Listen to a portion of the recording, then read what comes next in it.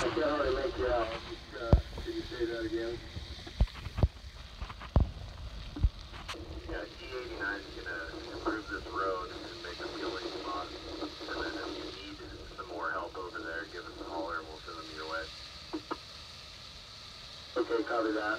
Yeah, we'll just have to get out there and evaluate, and uh, I'll let you know.